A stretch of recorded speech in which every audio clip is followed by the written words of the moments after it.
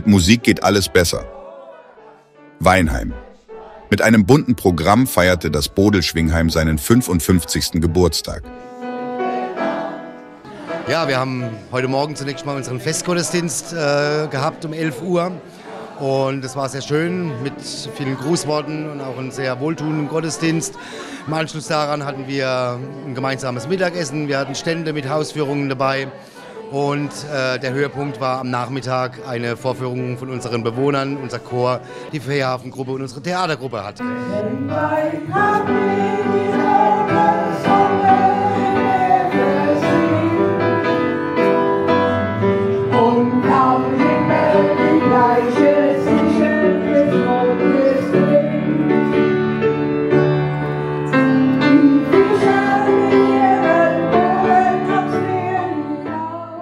Aber nicht nur an diesem Feiertag war viel geboten. Das Bodel-Schwingheim, welches wunderschön oberhalb vom Weinheimer Schlosspark liegt, bietet ganzjährig ein vielseitiges Programm. Die Bewohner können malen, die können singen, die können in Diskussionsgruppen sich ja äh, beteiligen. Sie, äh, wir haben Männerrunde extra für unsere Männer. Die können stricken, die können äh, schauspielern.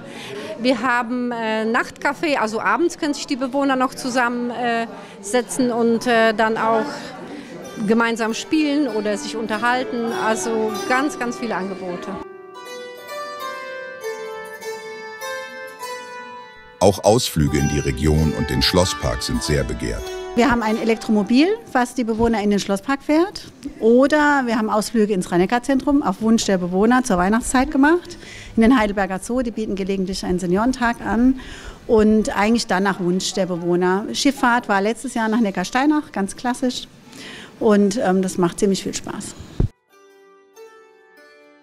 Bei dem Programmpunkt Interview mit langjährigen Mitarbeitern spürte man das Engagement und die Verbundenheit mit dem Haus. Der Heimleitung ist dies ein wichtiges Anliegen, welche sie mit Deutschkursen und Mitarbeiterfeiern unterstützt. Man ist in dem Betrieb aufgewachsen.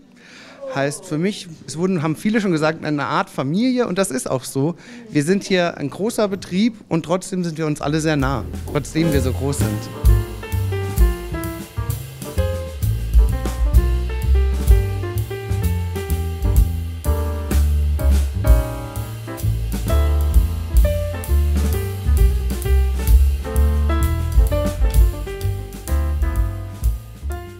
Das Haus versorgt im Moment 200 Bewohner in kleinen Wohneinheiten und in ein oder zwei Bettzimmer.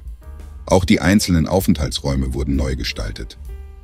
Und so die letzten Jahre nach Corona, Gott sei Dank, was wir gut überstanden haben, sich, verändert sich auch ganz viel in der Ausstattung.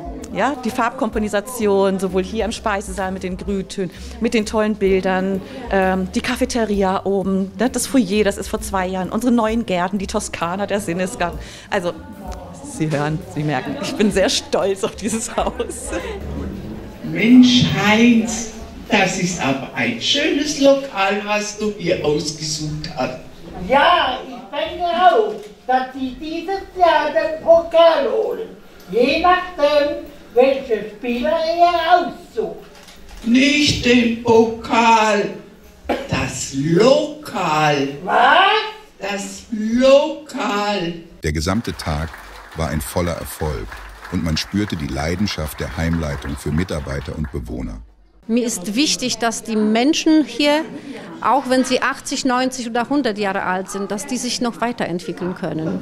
Dass es nicht vorbei ist mit 80 oder 90, dass die noch im Theater spielen können, Acrylbilder malen können oder neue Instrumente lernen können. Das ist das wirklich was ganz Besonderes.